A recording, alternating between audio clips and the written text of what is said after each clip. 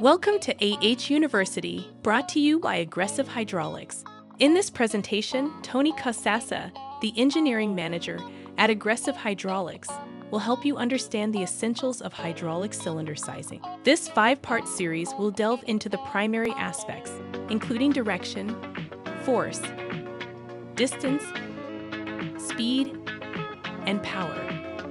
This video is the first segment of the series, focusing on direction. Let's get started. So when we talk about direction, we're talking about if the cylinder is going to see a compressive load or a tensile load.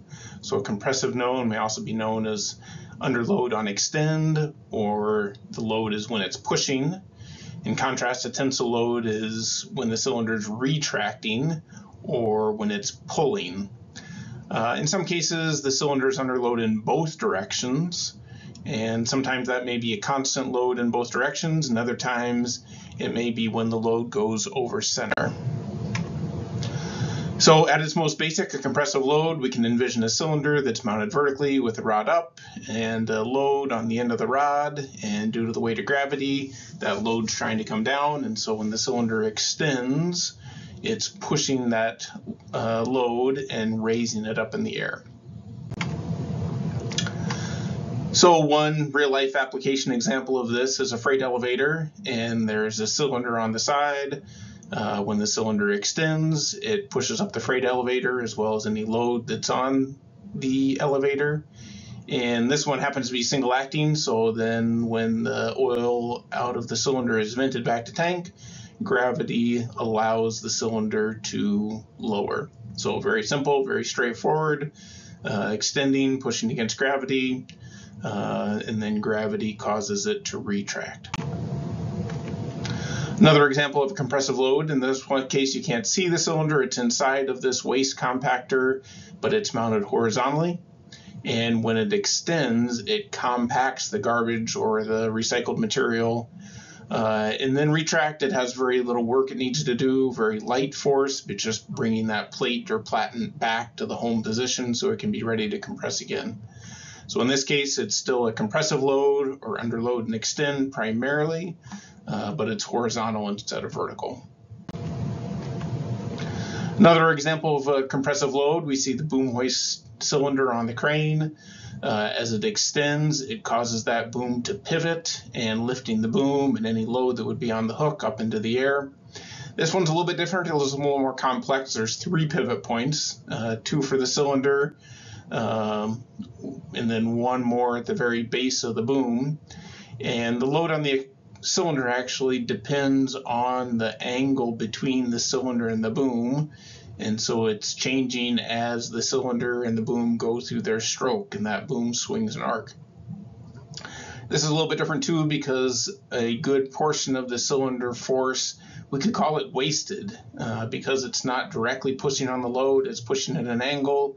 It's actually trying to rip the, the boom off that pin at the heel uh, and only a portion of the output force of the cylinder is going into lifting the load and doing work against gravity. But uh, it's still valuable because the straight lift's just not feasible with an application like that. You can't build a crane to to always be lifting straight up against the load.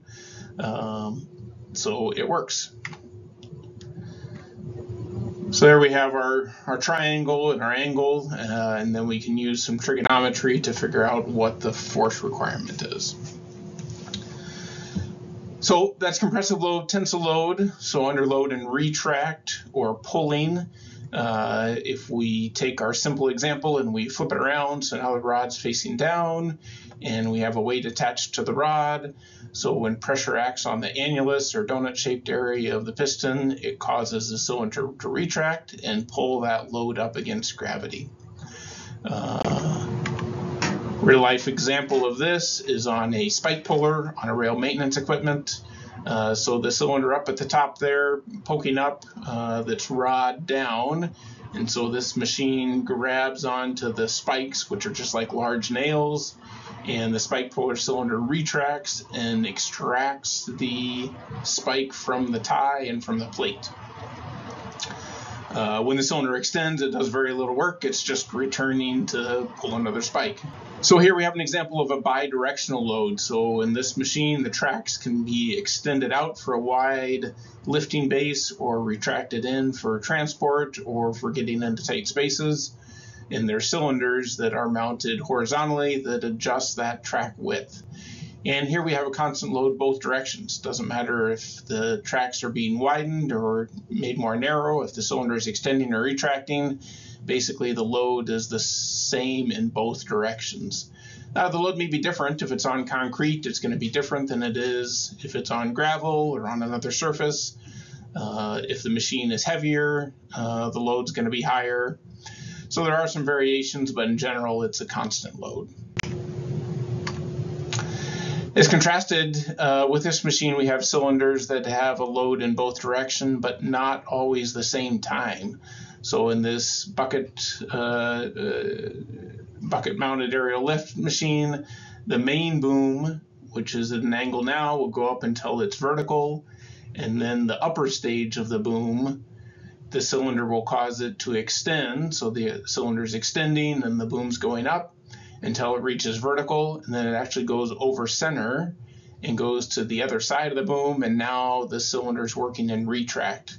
The boom is causing a tensile load to be on the cylinder. Uh, this allows the, the man in the bucket to work on both sides of the power line without repositioning the truck or the main boom.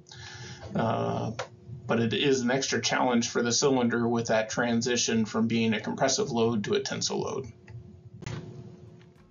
This concludes part one. Be sure to check out the remaining videos linked below.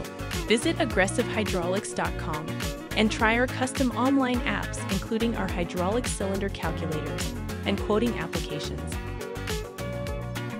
Contact us today to start your purpose built process.